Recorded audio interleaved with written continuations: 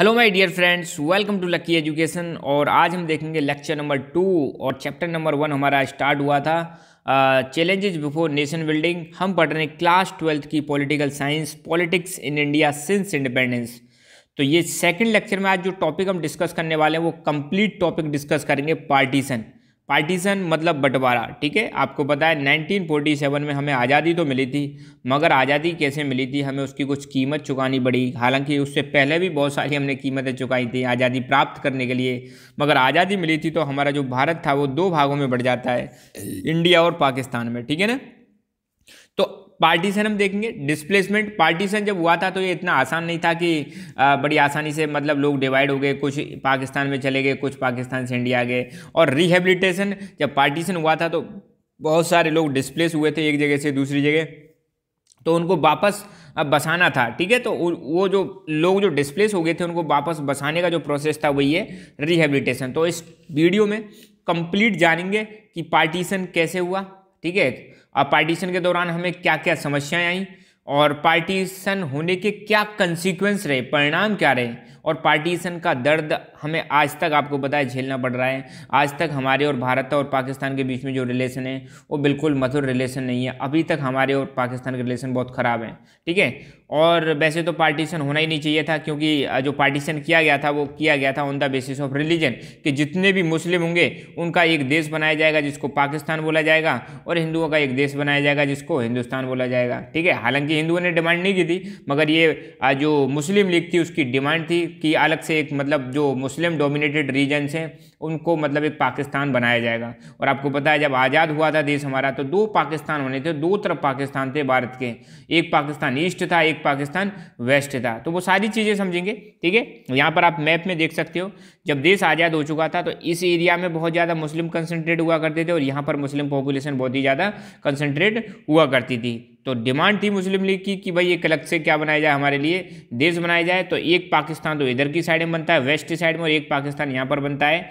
East Pakistan जिसको नाम बोलते थे, ईस्ट पाकिस्तान। हालाँकि यही ईस्ट पाकिस्तान आपको पता हो तो 1971 के जो इंडिया पाकिस्तान का वॉर हुआ था, उसमें इसको बांग्लादेश बना दिया जाता है, ठीक है? यहाँ पे जो लोग थे और यहाँ पे जो लोग थे, दोनों का कल्चर अलग अलग था। ठीक है?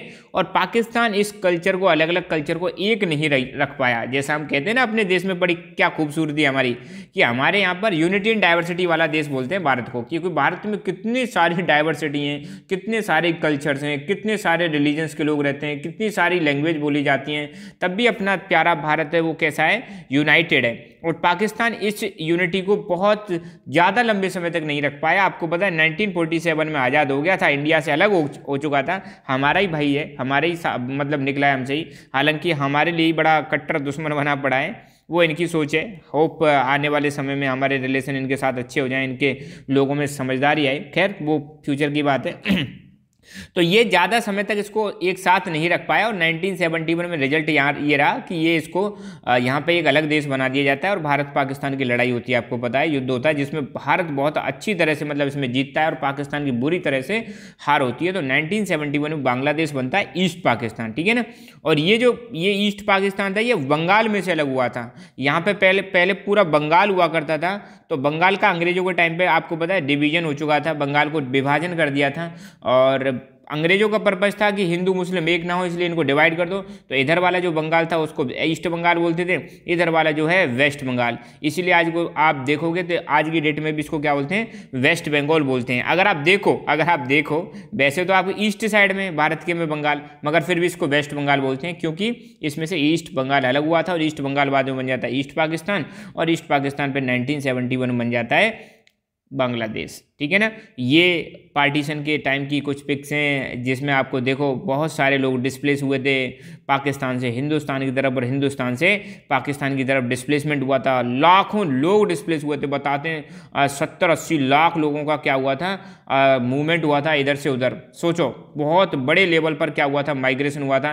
ह्यूमन हिस्ट्री का अब तक का सबसे बड़ा माइग्रेशन माना जाता है, जब इंडिया पाकिस्तान के दौरान, जब ये स्प्लिट हुआ था इंडिया और पाकिस्तान दोनों अलग अलग हो चुके थे, तब लोग डिस्प्लेस हुए थे। घर अपने आज पता चला या इस घर में रह रहे हैं और ये घर तो अब पाकिस्तान में आएगा और यहाँ पे हिंदू रह रहे तो हिंदू लोग घर छोड़ के अपना इधर की तरफ़ आ रहे हैं हिंदुस्तान की तरफ़ आ रहे हैं। हिंदुस्तान में पता चला कुछ मुस्लिम लोग रह रहे हैं उन वो लोग छोड़ छोड़ के पाकिस्तान की तरफ़ जा रहे हैं। बहुत सारी समस्याएँ आई थी वो सारी चीज़ें देखेंगे तो कैसे आ, क्या क्या समस्याएँ आई पार्टीशन के दौरान वो वो सारी चीज़ें हम समझेंगे ठीक है? तो टॉपिक है अपना पार्टीशन डिस्प्लेसमेंट एंड रिहेबिलिटेशन पहली बात तो डिस्प्लेस होंगे, जैसे ही पार्टीशन हुआ तो लोग एक जगह से दूसरी जगह जाएँगे। हिंदुस्तान में जो लोग थे, वो पाकिस्तान में जाएँगे, पाकिस्तान के जो लोग थे, वो हिंदुस्तान में आएँगे। कौन से लोग? अब इस पर ध्यान देना। ये जो पार्टीशन का आधार क्या था? कि जो मुस्लिम डोमिनेटेड रीजन्स हैं, जहाँ पे मुस्लिम पॉपुलेशन ज़्यादा है, उनको पाकिस्तान बना दिया जाएगा। ठीक है? तो ये सारी चीज़ें। तो चौदह, पंद्रह अगस्त 1947 not one but two nation states came into existence तो आपको पता है 1947 में दो देश एग्जिस्टेंस में आते हैं। एक आता है प्यारा भारत हमारा और एक आता है पाकिस्तान। तो एक इधर वाला पाकिस्तान और एक इधर वाला पाकिस्तान। इसको तो हम बोलते हैं ईस्ट पाकिस्तान, इसको हम बोलते हैं वेस्ट पाकिस्तान 1947 के टाइम पर। मगर बाद में इसको बांग्लादेश बोला जाने लगा और इधर वाले पाकिस्तान को पाकिस्तान बोला जाने लगा। तो दो देश निकल के आते हैं, इंडिया और पाकिस्तान। इनकी छोटी छोटी चीज़ें मैं बता चुका हूँ पहले वाले लेक्चर में। दिस वाज द रिज़ल्ट अब ये हिंदुस्तान, पाकिस्तान जो हुआ था, ये अलग अलग बटे थे। किसकी वजह से हुए थे? ये पार्टीशन का रिज़ल्ट था। पार्टीशन की वजह से जो ब्रिटिश इंडिया था, वो इंडिया और पाकिस्तान में डिवाइड हो गया। ठीक है? आपको पता है, अब अंग्रेज़ रूल करते थे यहाँ पे। तो अंग्रेज़ों ने मतलब इस चीज़ को सपोर्ट भी किया था। अंग्रेज़ भी चाहते थे कि जाते जाते हिंदुस्तान के टुकड़े ज़्यादा से ज़्यादा हो जाएँ। ठीक है? हालाँकि हमारे सरदार वल्लभ भाई पटेल की मतलब मेहनत है, जिसने five sixty five principal states को भी एक हिंदुस्तान में कन्वर्ट कर दिया था। ये पार्टीशन वाली पार्टीशन के बाद एक और समस्या हम देखेंगे कि यूनिफिकेशन ऑफ़ प्रिंसिपल स्टेट्स वो अगला टॉपिक आएगा, ठीक है? तो फ़िलहाल तो आप ध्यान दो कि पार्टीशन की वजह से ब्रिटिश इंडिया दो भागों में बढ़ गया इंडिया और पाकिस्तान में बढ़ गया।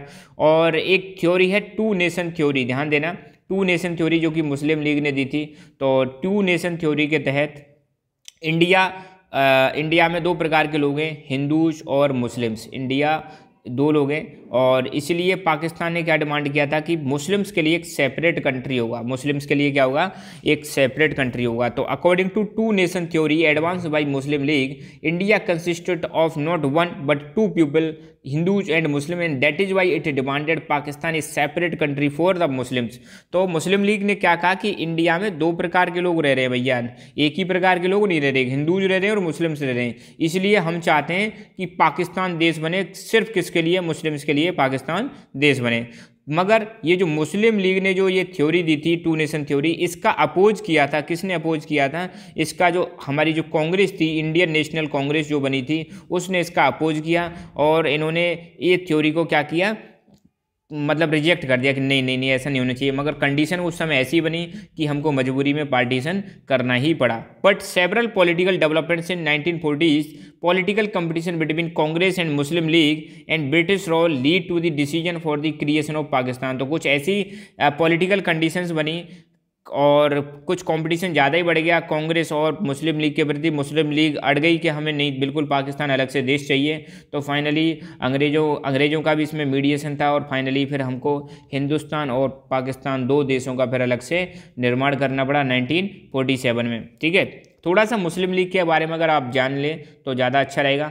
मुस्लिम लीग एक पॉलिटिकल पार्टी थी जो डिमांड कर रही थी अलग से पाकिस्तान की, इसी ने टू नेशन थ्योरी को सपोर्ट किया था और मुस्लिम लीग का जो इस्टेब्लिशमेंट हुआ था वो 1905 में मुस्लिम लीग को बनाया गया था, जब अंग्रेज़ भारत में रूल करते थे। और ध्यान देना, इससे एक साल पहले ही भारत में एक आंदोलन चला था नाइनटीन में, जिसका नाम है, आपको पता होगा, स्वदेशी मूवमेंट। तो उसके एक साल बाद ही मुस्लिम लीग की स्थापना होती है और मुस्लिम लीग ने ही मुस्लिम लीग ने ही कहा था कि जो Muslim majority Muslim majority nation state बनना चाहिए, जिसका नाम है पाकिस्तान। मतलब मुस्लिम लीग चाहती थी कि जो एरिया मुस्लिम डोमिनेटेड है, उसके लिए अलग से कंट्री बने और उसका नाम होगा पाकिस्तान, ठीक है? और आज़ादी के बाद जैसे 1947 में इन्हीं के एफर्ट्स की वजह से इंडिया डिवाइड हो जाता है। इंडियन नेशनल कांग्रेस की बात करें तो इसके बारे में मेन मेन चीज़ आप ध्यान रखना इंडियन नेशनल कांग्रेस, ये हमारी उस समय की पॉलिटिकल पार्टी थी, जो हमारा फ्रीडम स्ट्रगल था, उसको लीड कर रही थी। इंडियन नेशनल कांग्रेस की स्थापना हुई थी अट्ठाई ट्वेंटी एट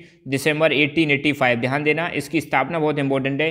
1885 में इसकी स्थापना हो चुकी थी और इस, इसको फाउंड किया था। फाउंडर थे इसके एलन ऑक्टावियन ह्यूम या इनको हम शॉर्ट में बोल देते हैं। एओ ह्यूम इनके फाउंडर्स थे और एक चीज़ और ध्यान रखना, इसके जो पहले प्रेसिडेंट चुने गए थे, इंडियन नेशनल कांग्रेस के पहले प्रेसिडेंट चुने गए थे, वो थे डब्ल्यू सी बनर्जी। कौन थे? डब्ल्यू सी बनर्जी, बोमेश चंद्र बनर्जी थे, ठीक है ना? बाकी और चीज़ आप देख लेना।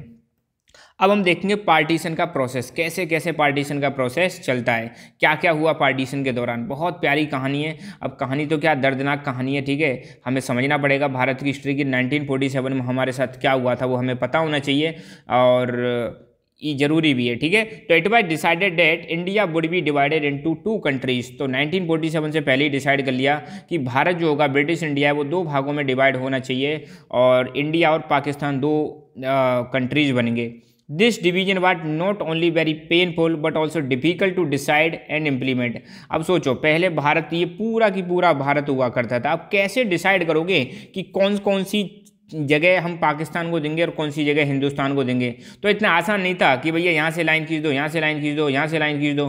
कितने सारे मुस्लिम तो पूरे भारत में रह रहे थे। अब कहाँ कहाँ पर कितने पाकिस्तान क्रिएट करोगे?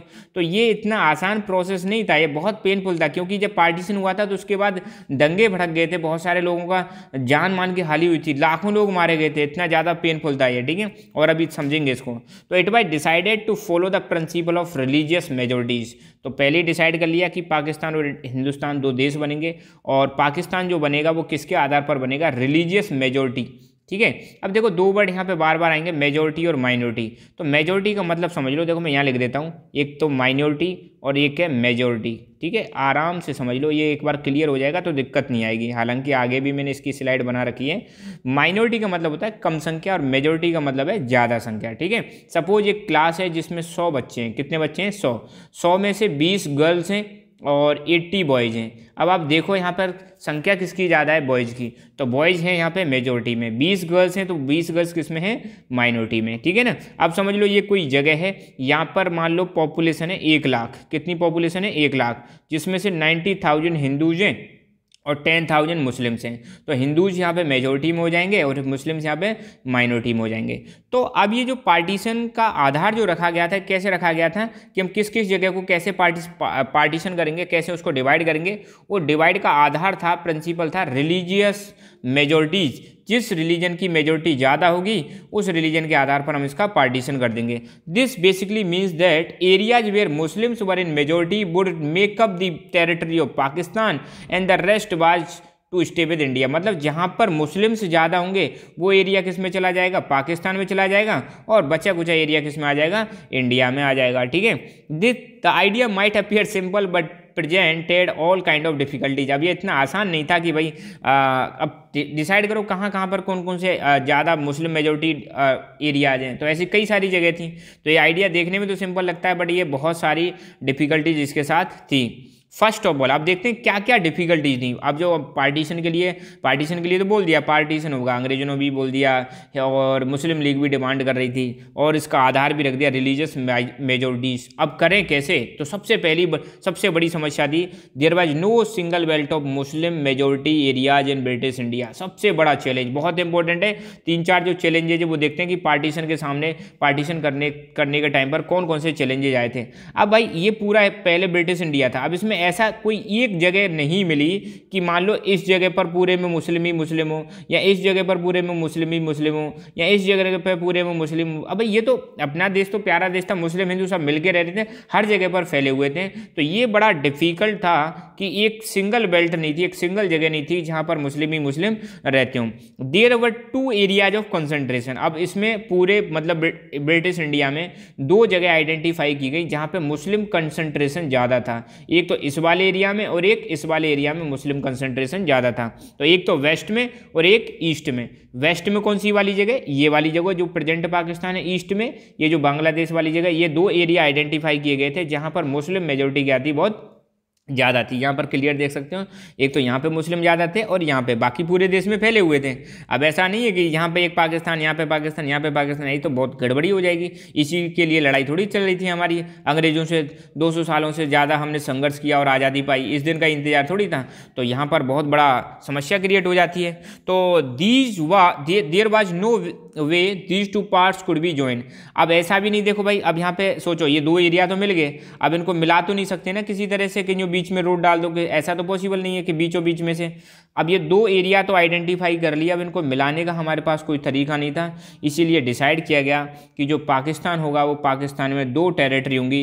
एक तो होगा ईस्ट पाकिस्तान और एक होगा वेस्ट पाकिस्तान ठीक है? तो दो पाकिस्तान बने थे।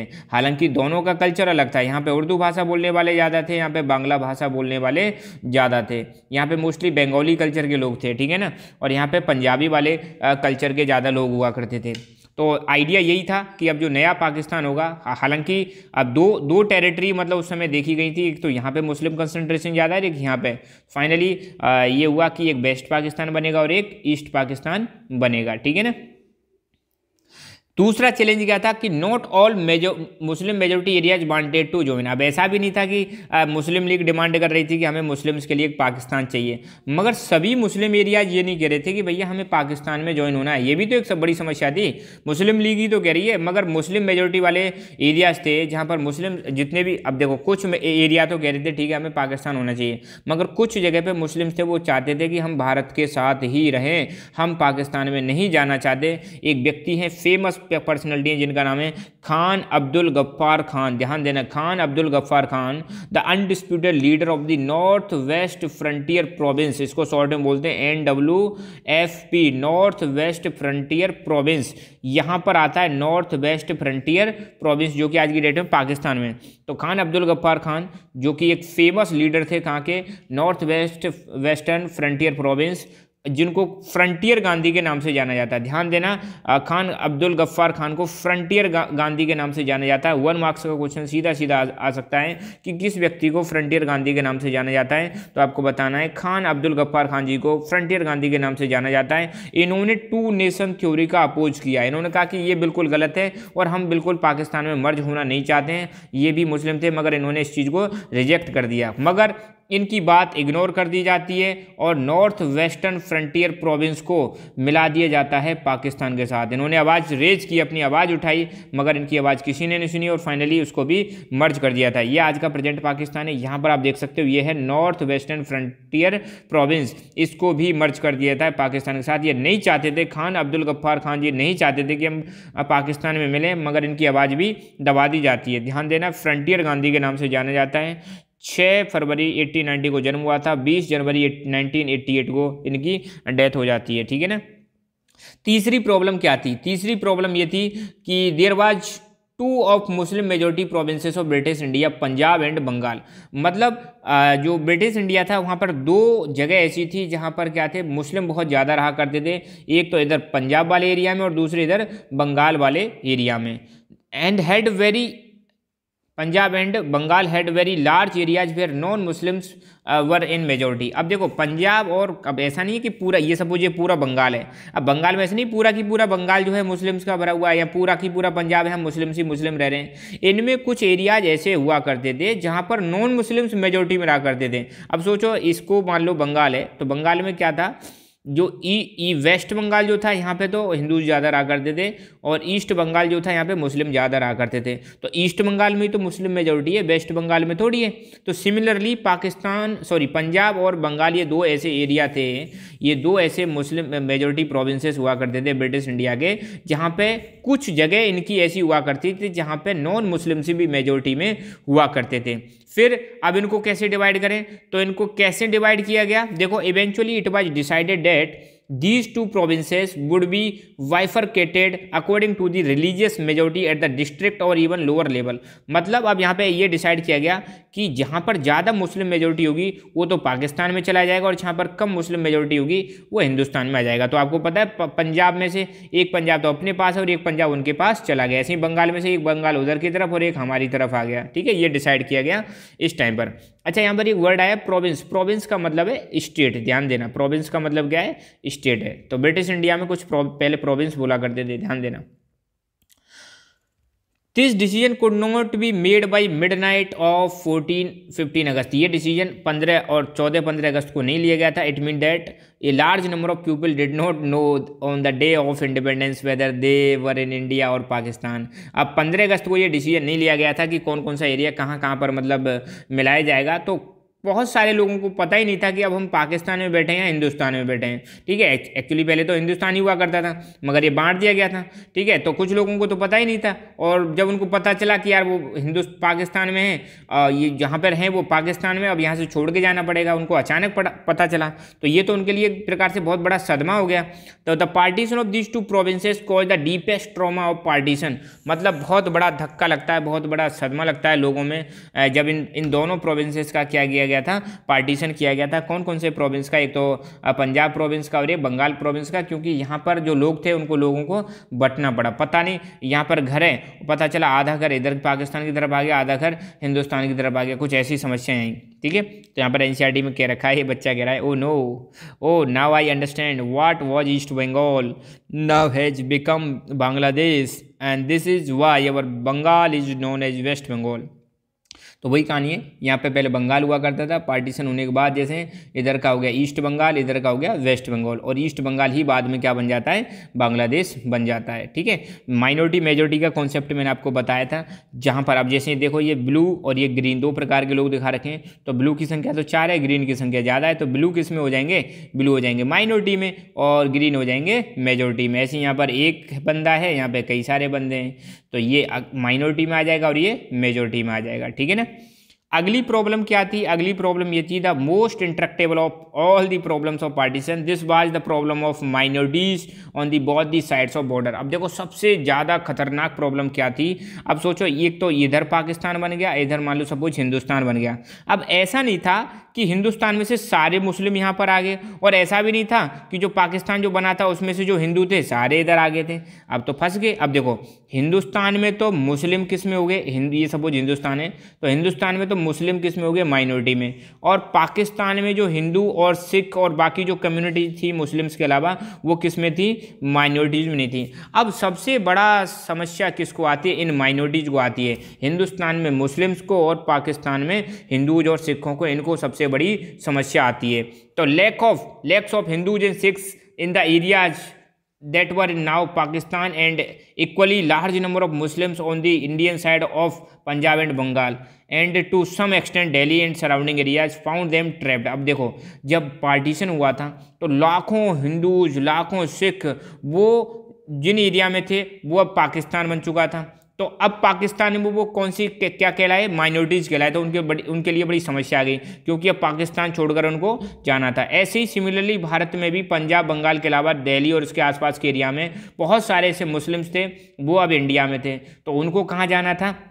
पाकिस्तान में जाना था, ठीक है? They were to discover that they were undesirable aliens in their own home in the land where they and their ancestor had lived for centuries. अब उनको ऐसा लगने लगा कि यार हम तो खुद के घर में ही क्या हो चुके हैं? एलियंस हो चुके हैं। पता चला जिस घर में मान लो कोई हिंदू है पाकिस्तान में, अब उसको पता चला कि यार ये तो पाकिस्तान, मेरा घर तो पाकिस्तान में आया तो मुझे घर छोड़ के जाना पड़ेगा। तो जो पुरखों की ज़मीन थी, पुरखों से मतलब कई पीढ़ियों से यहाँ पर रहते आ रहे थे। खुद के घर में ये लोग क्या बन जाते हैं? एलियन बन जाते हैं और इनको फिर यहाँ से छोड़कर जाना पड़ा, ठीक है? और उसी समय दंगे भी भड़क जाते हैं। हिंदू, मुस्लिम से मतलब लड़ाई हो जाती है। हिंदू मुस्लिम से चिड़ने लग जाते हैं, मुस्लिम हिंदुओं से चिड़ने लग जाते हैं। तो पाकिस्तान में हिंदुओं को कत्लेआम करने लग जाते हैं लोग, बाग हिंदुस्तान में मुसलमानों का कत्लेआम करने लग जाते हैं। तो दोनों तरफ़ से दोनों कम्युनिटीज़ को क्या होता है बहुत ही ज़्यादा नुकसान होता है। मूवीज़ आपने देखी होगी, गदर मूवी इसी पर आधारित थी, ठीक है? गदर मूवी में आपने देखा होगा कैसे कत्लेआम होता है। As soon as it became clear that country was going to part going to be partition the minorities of both side became easy target of attacks तो जैसे ही पता चला कि अब कंट्री कंट्री का पार्टीशन होने वाला है, हिंदुस्तान, पाकिस्तान बनने वाला है तो माइनॉरिटी में जो जो लोग हुआ करते थे दोनों तरफ़, जैसे हिंदुस्तान में मुस्लिम्स और पाकिस्तान में सिख्स और हिंदूज, उन पर क्या होने लगते हैं? अटैक होने लगते हैं। जो मेजोरिटी वाले लोग थे वो अटैक करने लगते हैं। दोनों साइड में अटैक होते हैं, एक साइड में नहीं होता, दोनों साइड में अटैक होते हैं। No one had quite anticipated the scale of this problem. No one had any plans for handling this. किसी ने भी, किसी ने भी इस चीज़ को एंटिसिपेट नहीं किया था कि ऐसी सिचुएशन होगी। किसी ने भी ये इतना सोचा नहीं था कि यार जब हम पार्टीशन करेंगे तो ये समस्या भी आएगी और किसी को ये भी, किसी ने कोई प्लान भी नहीं बनाया था। एक्चुअली अगर प्लानिंग करके होता ना ये तो हम इस, जो बड़े स्केल पर जो हत्याएँ हुई थी, बड़े स्केल पर जो महिलाओं के साथ दुर्व्यवहार हुआ था, बड़े स्केल पर जो लोग इधर से उधर ट्रांसफ़र हुए थे, घर छोड़कर भागना पड़ा, कई सारे बच्चे अपने माँ बाप से बिछड़ गए थे। तो ये जो बड़े स्केल पर जो समस्या हुई थी, ये समस्या कम की जा सकती थी। अगर अगर ये पार्टीशन हड़बड़ी में ना होता, अगर इसको शांति से सुल जाते तो यहाँ पर यही बताया जा रहा है एनसीईआरटी में कि किसी ने भी ये आंकलन नहीं किया था, किसी ने भी एंटिसिपेट नहीं किया था कि प्रॉब्लम इतनी बड़ी होगी और इसको हैंडल करना भी बड़ा डिफ़िकल्ट होगा। और उनने कोई प्लानिंग भी नहीं की थी। Initially people and political leaders were kept hoping that violence was temporary and would be control soon शुरुआत में जब दंगे भड़के थे हिंदू मुस्लिम्स में तो लोग, जो पॉलिटिकल लीडर्स थे और लोग थे, वो सोच रहे थे कि ये दंगे कैसे हैं टेम्परेरी हैं और बहुत जल्दी कंट्रोल में हो जाएँगे। मगर ऐसा नहीं हुआ। दंगे आउट ऑफ़ कंट्रोल हो जाते हैं। भयानक बड़े लेवल पर क्या होता है? हत्याएँ होती हैं बड़े लेवल पर। और हिंदू मुस्लिम्स के बीच में बहुत ही ज़्यादा क्या हो चुका था? जहर फैल चुका था। यूँ समझ लो एक दूसरे से बहुत ज़्यादा नफरत करने लग गए थे। और दोनों साइड में जो माइनॉरिटीज़ थी, हिंदुस्तान साइड में और पाकिस्तान साइड में, दोनों साइड में जो माइनॉरिटीज़ थी, उनके पास कोई ऑप्शन नहीं बचा था। उनको अपने अपने घर खाली करने थे। जैसे ही उनको नोटिस बनी, मिली कि आपको यहाँ से हिंदुस्तान जाना है और हिंदुस्तान के लोगों को, जो मुस्लिम्स थे, उनको पाकिस्तान जाना है तो उनके पास कोई ऑप्शन नहीं था, सिवाय घर छोड़ने के उनके पास कोई ऑप्शन नहीं था। तो इसीलिए पार्टीशन में लोग एक जगह से दूसरी जगह गए। तो ये तो हुई पार्टीशन वाली कहानी। अब हम देखेंगे कि कॉन्सिक्वेंसेस क्या हुए पार्टीशन के क्या क्या परिणाम हुए। परिणाम जानना बहुत ज़रूरी है, सबसे पहले। The year 1947 was the year of one of the largest, most abrupt, unplanned, tragic transfer of population that human history has known. ध्यान देना मानव इतिहास में अब तक का सबसे बड़ा ये क्या हुआ? पॉपुलेशन का ट्रांसफ़र हुआ। बहुत अनप्लान तरीके से बहुत ही ज़्यादा दुखद ट्रांसफ़र हुआ था। इसमें लाखों लोगों ने क्या गवाई अपनी जान गवाई थी। There were killings and atrocities on the side of the border border के दोनों साइड में हिंदुस्तान साइड में भी और पाकिस्तान साइड में भी बहुत बड़े लेवल पर लोगों की हत्याएँ की जा रही थी, उन पर अत्याचार किए जा रहे थे। In the name of religion, people of one community, ruthlessly killed and maimed people of other community सिर्फ़ धर्म के नाम पर लोग एक दूसरे से मतलब नफरत कर रहे थे, एक दूसरे को बुरी तरह से कत्लेआम मचा रहे थे। Cities like Lahore Amritsar Kolkata became divided into communal zones तो ये जो सिटी थी लाहौर अमृतसर कोलकाता इनमें कम्युनल जोन बन गए। कम्युनल जोन का मतलब है कि ये एरिया मुस्लिम्स का है, ये एरिया हिंदुओं का है। हिंदुओं वाले एरिया में अगर कोई मुस्लिम है तो उसको मार रहे थे। मुस्लिम वाले एरिया में कोई हिंदू है तो उसको मार रहे थे। घर घर में जाकर मतलब कत्लेआम कर रहे थे। थोड़ा सा बॉर्डर मूवी जो मूवी आई थी, गदर मूवी उसमें सीन आप देखना, यही हालत मिलेगी। बहुत बड़े लेवल पर क्या हुआ था? कत्लेआम हुआ था। और ये तीन शहर क्या बन जाते हैं? कम्युनल जोन बन जाते हैं, लाहौर, अमृतसर और कोलकाता। लाहौर आज की डेट में, पाकिस्तान में, अमृतसर, कोलकाता दोनों, भारत में। Muslims would avoid going to areas where mainly Hindus or Sikhs lived. Similarly, the Hindus and Sikhs stayed away from the areas where Muslim predominance. मतलब इस समय पर जब ये पार्टीशन हो रहा था हुआ था उस समय मुस्लिम्स को डर लग रहा था हिंदू और सिख वाले एरिया में वो जा नहीं रहे थे क्योंकि हिंदू हिंदू वाले और सिख वाले एरिया में मुस्लिम जा रहे थे तो क्योंकि पहले ही नफरत बहुत ज़्यादा फैल चुकी थी तो मुस्लिम्स का वहाँ पर कत्लेआम किया किया जा रहा था साथ के साथ में हिंदू और सिख भी बिल्कुल दूर रह रहे थे वो भी डर रहे थे कहाँ पर जाने से डर रहते हैं, मुस्लिम प्रीडोमिनेंस वाले एरिया में, जहाँ पर मुस्लिम्स मेजोरिटी में थे। Forced to abandon their homes moved across borders people went through immense suffering ज़बरदस्ती उनको अपने घर से घर छोड़कर जाना जाना पड़ा।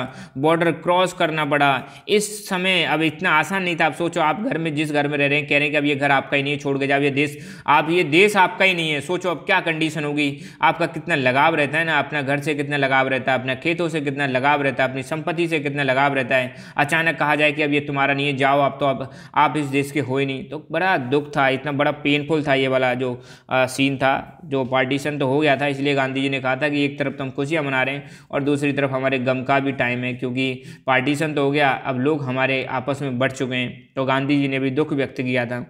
Minorities on the both sides of the border fled their home and often secure temporary shelter in refugee camps तो दोनों तरफ़, हिंदुस्तान में भी और पाकिस्तान में भी टेम्पररी ऐसे कैंप बनाए गए, इनको हम बोलते हैं रिफ्यूजी कैंप क्या बोलते हैं? रिफ्यूजी कैंप सोचो, अगर ये पाकिस्तान में तो हिंदुस्तान से जो भी रिफ्यूजी आएँगे, अब देखो, जो लोग एक कंट्री से दूसरे कंट्री में जा रहे थे, उनको बोला गया रिफ्यूजी क्या बोला गया? रिफ्यूजी तो इन रिफ्यूजियों के रहने के लिए, अब ऐसा तो है नहीं कि लोग हिंदुस्तान से पाकिस्तान में जा रहे हो, पाकिस्तान में उनके लिए घर बना मिलेगा। तो उनको कहाँ रहना पड़ेगा? टेम्परेरी यहाँ पर रहना पड़ेगा कैंप्स में। और इस कैंप्स में कितना रहना पड़े? साल भर रहना पड़े, दो साल रहना पड़े छः महीने रहना पड़े, वो डिपेंड है। क्योंकि बहुत कई महीनों और साल मतलब लोगों ने इन रिफ्यूजी कैंप में गुजारे, ठीक है ना? They often found unhelpful local administration and police in what till recently their own country अब जब लोग, जब ये माइनॉरिटीज एक जगह से दूसरी जगह जाने लगी और टेम्प्रेरी शेल्टर्स में या रेफ्यूजी कैंप्स में जब ये रहने लगे थे तो यहाँ पर इनको, अब सिंपल सी बात है, उतनी सुविधा तो नहीं मिलेंगी जितनी इनको लोकल अपने घर पर मिलती थी। या जहाँ पर रहते थे, पहले जितना पुलिस इनको सपोर्ट करती थी, पहले जितना इनका, जिनकी सरकार इनको सपोर्ट करती थी, अब यहाँ रेफ्यूजी कैंप में कौन इनका इतना ज़्यादा ख्याल रखेगा? ठीक है तो ये बहुत ज़्यादा दिक्कत थी रेफ्यूजीज के लिए। तो they travel to other side of the new border by all sort of means often by foot अब जिनके पास गाड़ी थी तो गाड़ी से गए, जिनके पास घोड़े थे, घोड़े से गए, जो ट्रेन से जा सकते थे, वो ट्रेन से गए। तो बॉर्डर क्रॉस करने के लिए जो जो उनके पास साधन थे, सभी साधनों से गए तो और बहुत सारे लोग तो बाई फुट मतलब पैदल भी जाने लगे। मतलब एक बॉर्डर से दूसरे बॉर्डर पैदल ही उन्होंने क्या किया बॉर्डर क्रॉस किया। Even during this journey they were often attacked killed and raped बताओ, कितनी खतरनाक बात है। जब वो लोग एक एक जगह से दूसरी जगह जा रहे थे तो उन पर अटैक हुए, उनको मारा गया, महिलाओं का रेप किया गया, कितनी मतलब दर्दनाक यहाँ पर कहानी है। Thousand of womens were abducted on both sides of the border दोनों साइड में हज़ारों महिलाओं को क्या कर लिया गया? एबडक्ट कर लिया मतलब उनका अपहरण कर लिया गया। They were made to convert to the religion of the abductor and were forced forced into marriage महिलाओं को ज़बरदस्ती उनका धर्म चेंज करवाया गया और उनसे ज़बरदस्ती क्या करवाई गई? शादी करवाई गई। In many cases women were killed by their their own family members to preserve their family honour अब सोचो, कई सारे मतलब घर तो ऐसे थे, कई सारे परिवार तो ऐसे थे कि उनकी महिलाओं को, उनके साथ कोई अत्याचार ना हो, महिलाओं को कोई अपहरण ना कर ले, महिलाओं से ज़बरदस्ती कोई उनका धर्म चेंज ना कर दे। और इसी वजह से अपने घर की मतलब लाज बचाने के लिए कई फैमिली मेंबर्स ने तो अपने घर की महिलाओं को मार दिया, खुद ही मार दिया। सोचो कितनी बुरी, इससे ज़्यादा दर्दनाक क्या होगा जब घर में खुद ही महिलाओं को क्या करना पड़ रहा है? मारना पड़ रहा है सिर्फ़ लाज बचाने के लिए, इज़्ज़त बचाने के लिए। ऐसी कंडीशन यहाँ पर पैदा हो गई थी। Many children were separated from their parents कई सारे बच्चे अपने पेरेंट्स से बिछड़ गए थे, बिछड़ जाते हैं, ठीक है? वो मूवीज़ देखना, कई सारी मूवीज़ में ऐसे आपने देखा होगा, भारत मूवी आई है इस पर, और एक, वो मैंने गदर बताई है, कई सारी मूवीज़ बनी है तो कई सारे बच्चे क्या हो जाते हैं, बिछड़ जाते हैं, अपने पेरेंट्स से बिछड़ जाते हैं। Those who did not manage to cross border found they that they had no home अब कुछ लोग जो मतलब बॉर्डर नहीं क्रॉस कर पाए थे तो सिंपल सी बात है, उनको घर तो छोड़ने पड़ेंगे तो उनके पास तो कुछ घर वर था ही नहीं। For lack of this refugees the countries freedom meet life and refugee camp है तो ऐसे जो लाखों लोग, ठीक है, जो लाखों लोग जो एक जगह से दूसरी जगह आए एक देश से दूसरे देश में आए तो उनको तो ज़िंदगी कहाँ गुजारनी पड़ेगी? अपने रिफ्यूजी कैंप में गुजारनी पड़ेगी। अब सोचो, कितने सालों से हम अंग्रेज़ों से संघर्ष करते आ रहे थे कि हमें अंग्रेज़ों से आज़ादी मिलेगी आज़ादी मिलेगी, आज़ादी मिल गई। अब क्या हुआ? अब लोग इधर से उधर जा रहे हैं तो उनको कई साल तो कहाँ कहाँ गुजारने पड़े? रिफ्यूजी कैंप में गुजारने गुजारने पड़े। तो उनका आज़ादी का मतलब यही था क्या? रिफ्यूजी कैंप में रहना। तो ये भी एक बड़ा दर्दनाक है। तो लोगों ने महीनों और कई बार तो सालों कहाँ पर गुजारे? रिफ्यूजी कैंप में गुजारे थे। इस चीज़ पर हमारे राइटर्स, पोइट्स फ़िल्म मेकर्स इन्होंने भी ध्यान दिया, ठीक है? तो writers poets film makers of India and Pakistan have express the ruthlessness of the killings and sufferings of displacement and violence in their novels short stories poems and film तो दोनों ही side से जो लेखक थे राइटर्स थे poets थे film makers थे, भारत और पाकिस्तान दोनों तरफ़ के तो ये जो रूथलेसनेस जो मतलब बुरी तरीके से लोगों को मारा जा रहा था लोगों पर अत्याचार किया जा रहा था इसके खिलाफ ये जो घटनाएँ हो रही थी ये जो वॉयलेंस हो रहा था इसको उन्होंने अपने नोवेल्स के थ्रू छोटी छोटी स्टोरीज बनाकर पोइम्स बनाकर फ़िल्म के माध्यम से क्या किया उन्होंने इस चीज़ को एक्सप्रेस किया बताया While recounting the trauma of partition, they have often used the phrase that survivors themselves used to describe the partition as the division of herds. इन्होंने बताया इन्होंने क्या बताया? इन सभी लोगों ने बताया कि लोग जो मतलब बच गए थे सरवाइव कर पाए थे पार्टीशन के दौरान जो बच गए थे, वो खुद कहते थे। जो लोग मतलब सोचो पार्टीशन हो गया, अब हिंदुस्तान से पाकिस्तान चले गए, पाकिस्तान से हिंदुस्तान चले गए थे और सर्वाइव कर रहे थे। बाद में उन्होंने बताया कि भैया ये पार्टीशन नहीं हुआ, ये दो देश नहीं बने। ये क्या हुआ है?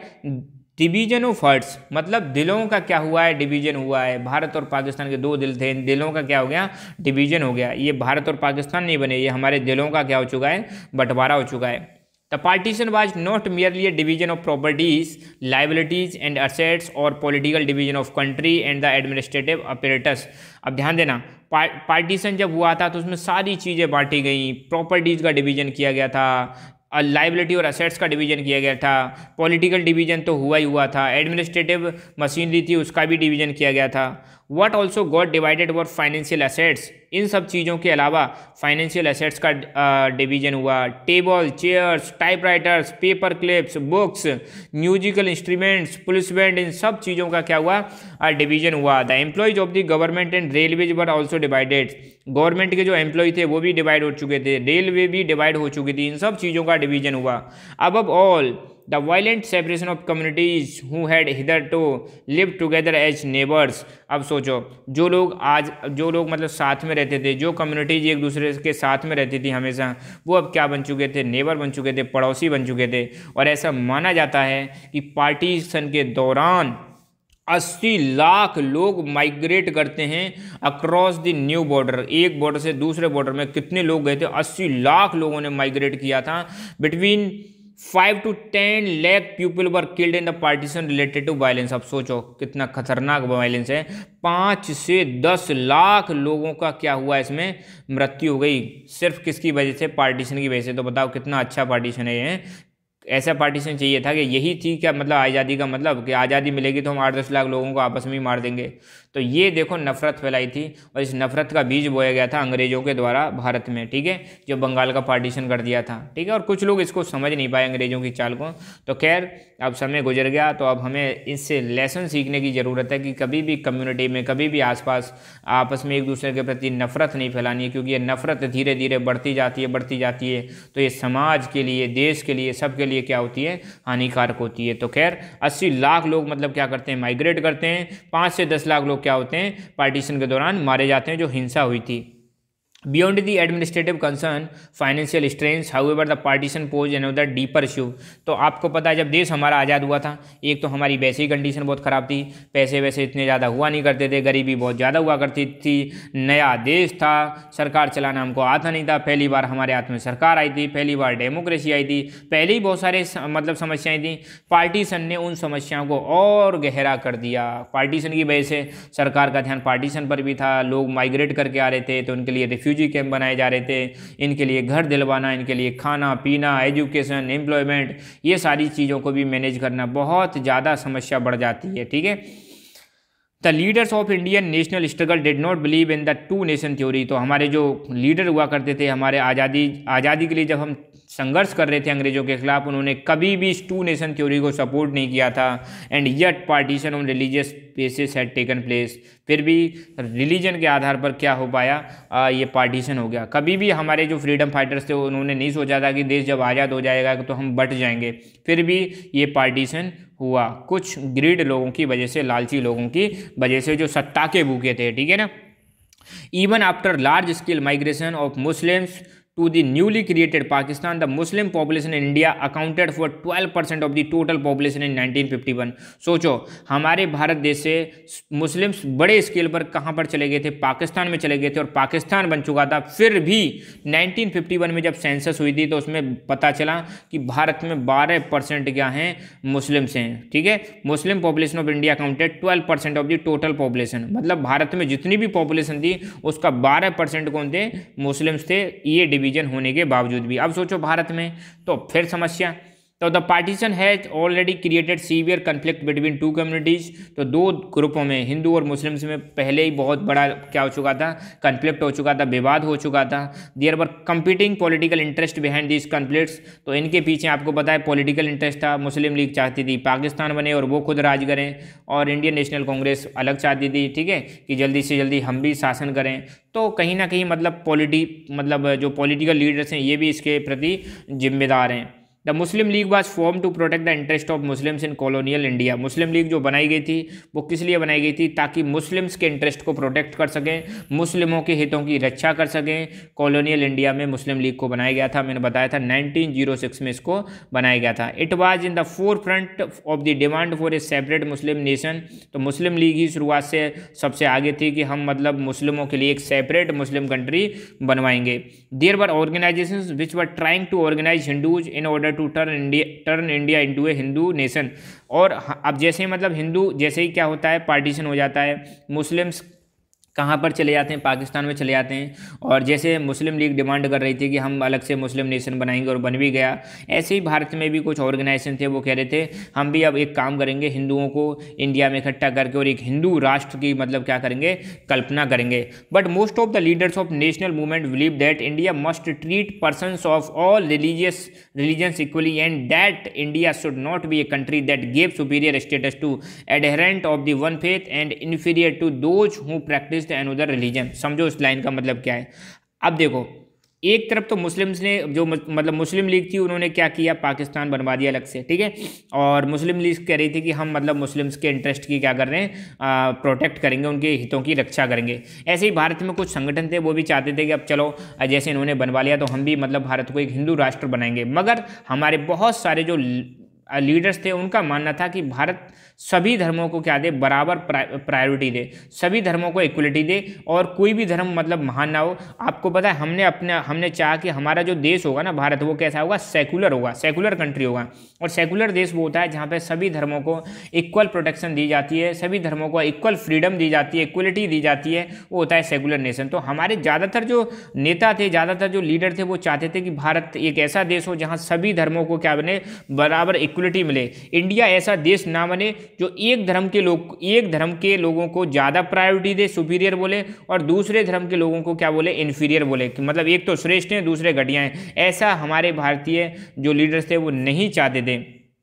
वो चाहते थे कि कोई सा भी धर्म हो, जितने भी सिटीजन्स हैं, उनका कोई सा भी धर्म हो, किसी भी धर्म को मानते हों, ठीक है, और किसी भी धर्म को ना मानते हों तो धर्म क्या नहीं होना चाहिए? सिटीजनशिप का आधार नहीं होना चाहिए, ठीक है?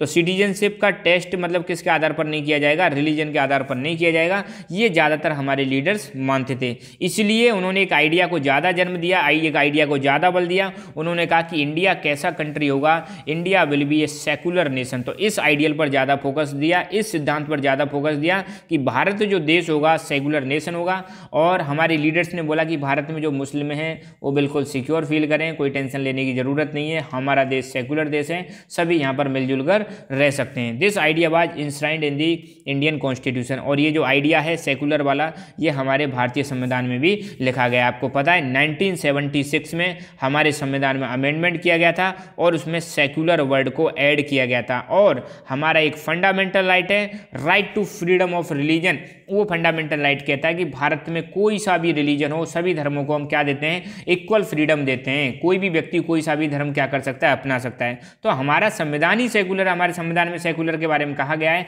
हमने कभी भी ये नहीं कहा कि भारत मतलब एक ही एक ही धर्म के लोगों का होगा, ठीक है? और आज भी, तब से लेकर आज भारत क्या है? एक है। है ना? भारत में मतलब यूनिटी बनी हुई है और ये यूनिटी बनी रहे, यही हमारी क्या है? खूबी है। और ये विश्व के लिए भी एक संदेश है कि ज़्यादा धर्म के लोग रह, होने के बावजूद भी, ज़्यादा डाइवर्सिटी होने के बावजूद भी, भारत क्या है? यूनाइटेड और यूनाइटेड रहना भी चाहिए। तो ये है हमारे भारत के संविधान का प्रियम्बल जहाँ पर लिखा हुआ है कि भारत कैसा होगा। We, the people of India, having solemnly resolved to constitute India into a sovereign socialist, secular, democratic republic. तो यहाँ पे लिखा हुआ है कि भारत कैसा होगा? सोवरेन होगा सोशलिस्ट होगा सेकुलर होगा डेमोक्रेटिक होगा एंड रिपब्लिक होगा। और हम सबको जस्टिस प्रोवाइड कराएँगे लिबर्टी प्रोवाइड कराएँगे इक्वलिटी प्रोवाइड कराएँगे, और फ्रेटर्निटी प्रोवाइड कराएँगे। तो ये सेकुलर वाला जो कॉन्सेप्ट है, ये हमारे संविधान में भी लिखा हुआ है। तो यहाँ पर भारत का पार्टीशन जो हुआ था इंडिया का पार्टीशन हुआ था, ये कंप्लीट होता है पूरा की पूरा टॉपिक ठीक है? तो दो टॉपिक हमारे इस चैप्टर के कंप्लीट हो चुके हैं। अब एक टॉपिक और बचा है यूनिफिकेशन ऑफ़ स्टेट्स उस वाले टॉपिक को भी हम कवर करेंगे और उसके बाद हमारा चैप्टर फिनिश हो जाएगा। So thank you thank you so much keep learning keep enjoying and God bless you all